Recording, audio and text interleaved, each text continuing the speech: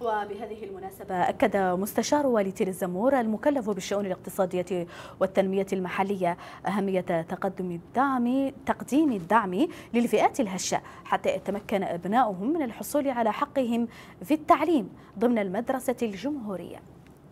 يسعدني أن أشرف اليوم باسم والي تير الزمور على توزيع بعض المعدات واللوازم المدرسية لأقسام ما قبل التمدرس ورياض الأطفال.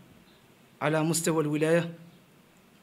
وهذه الأقسام ما قبل التمدرس على مستوى المدارس وكذلك على مستوى المحاضر.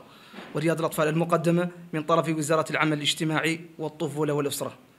إن هذه التوزيعات تدخل في إطار تكريس ودعم المدرسة الجمهورية التي يحرص فخامة رئيس الجمهورية السيد محمد بن الشيخ الغزواني على تجسيدها.